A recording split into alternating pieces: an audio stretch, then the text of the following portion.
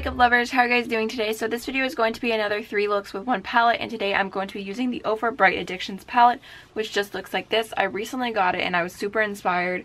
I love all these bright matte shades so I wanted to do some looks with it.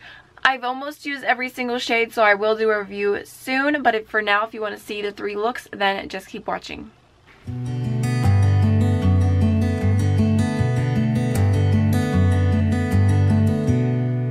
So for this look, I'm going to go ahead and start off with this minty shade right here, which is really pretty. And I'm just going to go ahead and just, wow, put that in my crease.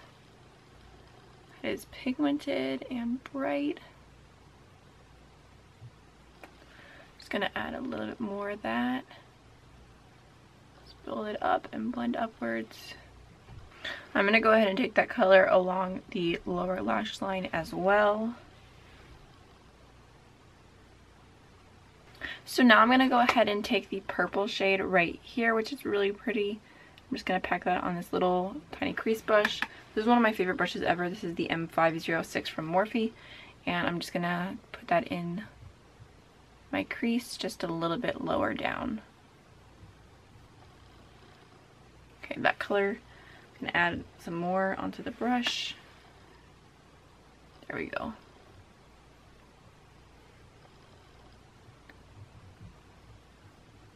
I'm going to take whatever is left over on the brush and just kind of gently blend the edges. I don't want to take this color up too high, but I definitely want it to be a gradual blend. I'm going to go in with that previous brush and just blend. I'm going to go ahead and do another layer of that color just because I want it to be really, really pigmented. So I'm going to add that a little bit lower down and then just go ahead and take whatever's left over and blend upwards. Blend.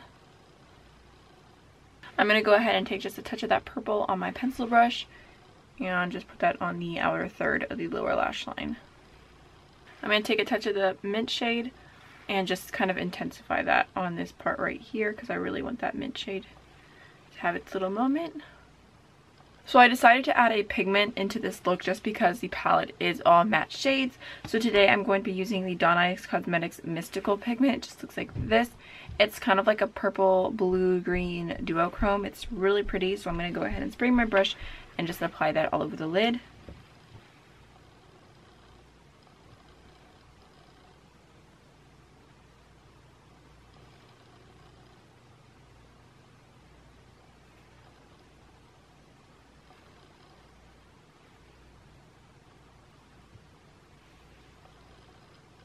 Because this pigment does have like a, it's like a purple base and a green shift to it, it's really easy to just kind of tap into the matte shades and it just looks really blended really fast. So that is the eyeshadow. I'm going to go ahead and finish off my face and I'll be right back to show you the final look. So I also went ahead and added House of Lashes Boudoir Lashes. I did the Ardency Inn eyeliner in the shade Jade in my waterline, which is a really pretty pop um, of color. And then also my lipstick today is a ColourPop Lippie Stick in the shade Sure Thing. So this is look number one.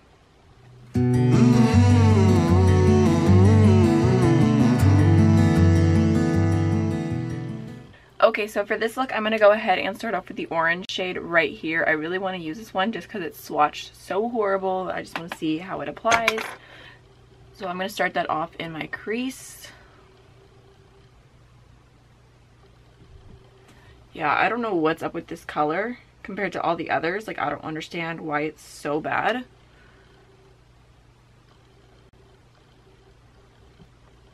Feels like this particular shade was pressed too hard. So I'm just kind of building that up and then I'm going to go ahead and just blend out the edges a little bit. Yeah, I feel like that shade is blending a little splotchy too. I'm going to go ahead and move on to a different shade. I'm going to go ahead and take the dark red shade right here, which looks really nice. And I'm going to take it on a much smaller brush and I'm going to throw that into my crease. And voila, we've got some nice pigment.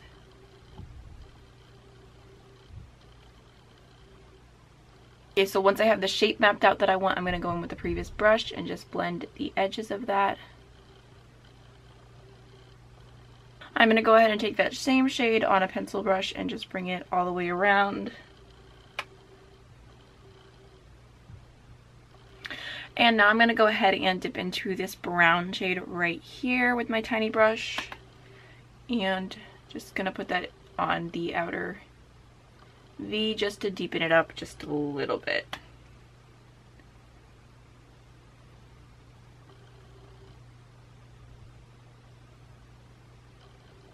Wipe the excess brown off of that um, brush and I'm just going to go ahead and blend.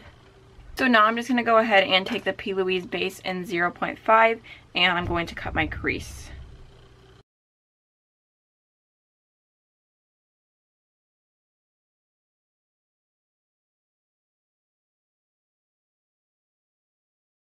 So just like always, after I cut my crease before I go in with my lid shade, I'm going to go in with some of the previous shades I've already used. So I'm going to go ahead and take that bright red and I'm just to stick it on the outer V and kind of just blend in. This red is to blend in really pretty with the lid shade that I'm to go in with. Go ahead and go into the brown shade again just to deepen that outer V. I accidentally got concealer on it so it looks really funny right now. Hopefully I can fix that. Also, before I forget, I'm going to go ahead and take that dark brown shade and I'm just going to throw that on my lower lash line on the outer third connecting so for this look, I'm going to go into a separate lid shade, and this is Dose of Color Sizzle. It's a beautiful red sparkly color, just looks like this. Has so much glitter throughout it, and I just, I feel like I want to do this for this one palette, three looks video, because for an all matte palette, I typically would not do an all matte eye. I would normally include other things. I will make sure that my last look is all matte and just using the palette, but for this one, I'm going to go into this beautiful, beautiful eyeshadow and it works better with your finger, but I'm going to go ahead and do a brush first just to kind of get some mapping, the mapping out because it is a cut crease and then I'll go in with my finger to intensify.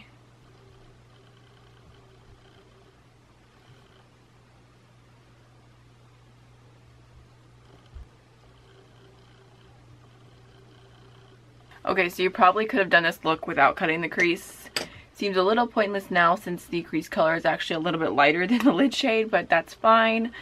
Uh, we live and we learn. So I'm going to go ahead and take just a little bit on my finger and just throw that on top to intensify it just a little bit. Okay, so last but not least for the eyeshadow portion of this look, I'm going to go ahead and take the Dream Glow Kit from Anastasia and I'm going to take the shade right here which is called Regal. Kind of has like a coppery reflex I'm going to pick that up on my brush and I am going to spray my brush just a bit because I feel like it makes makes the inner corner so intense. It's definitely worth worth a spray or two. And I'm just going to pop that on the inner corner.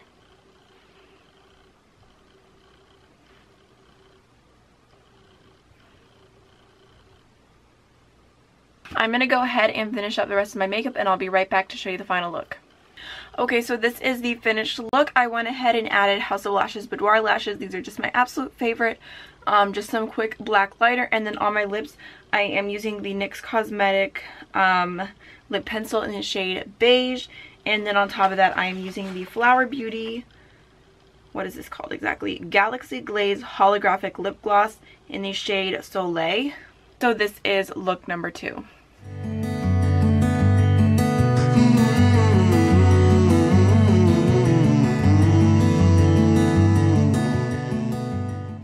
Okay, so for this final look, I think I'm going to go ahead and start off with this blue shade right here. This is like a super bright cobalt blue. And I'm just going to go ahead and put that... Ooh, that's pigmented. I probably could have gone in with a smaller brush. In my crease, okay. Then you could just stop right there and you belong in the 80s. So I'm just going to lightly blend that out. I'm going to take my powder brush and just kind of get rid of any fallout from that because there was just a tiny bit. But that's partially my thought for going in with such a big brush for such a bright, crazy shade. So I'm going to go ahead and I'm going to wipe off all the extra product from that brush And I'm going to blend out the edges.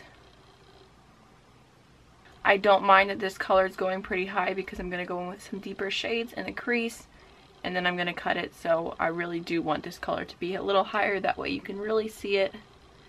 So now I'm going to go ahead and take the black from the palette and I'm going to be putting this on my outer V all the way into my crease and I want to kind of build this up and make it pretty pretty dramatic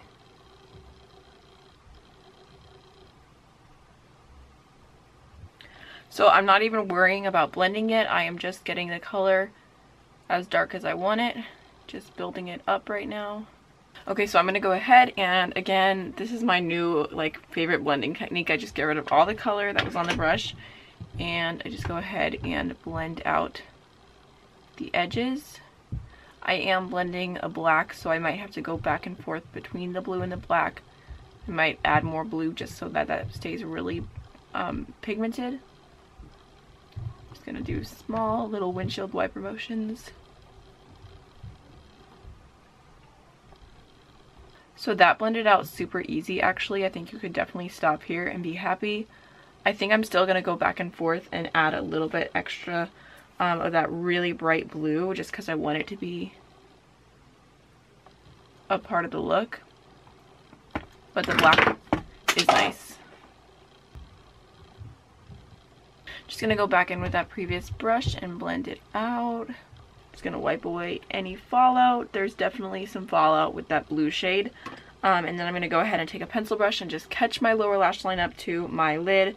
I'm gonna start off with the bright blue shade. Just take that along the entire lower lash line. And then I'm going to go ahead and take the black shade on that same pencil brush and I'm just going to go ahead and basically put it along the entire lower lash line as well just because this look is more on the smoky side and I really like the color that the black and the bright blue are making together. And then I'm going to take that same brush just because it's so precise and I'm going to go in with more black and I'm just going to stamp that on the outer V part just to kind of get the exact shape that I want. Now the fun part begins for this eye look. I'm going to go in with the P. Louise base and I'm going to cut my crease.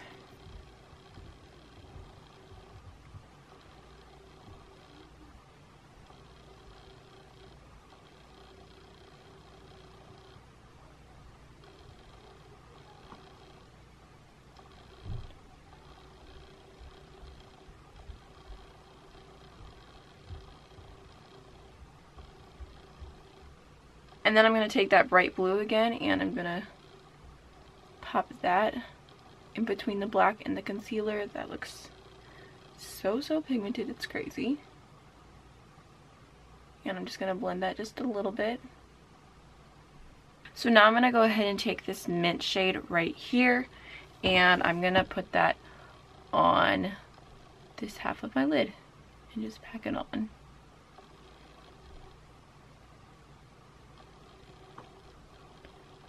Is so pretty.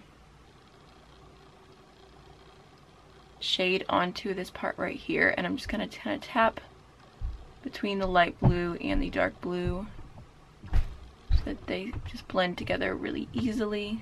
Go ahead and add just a touch more of that bright blue.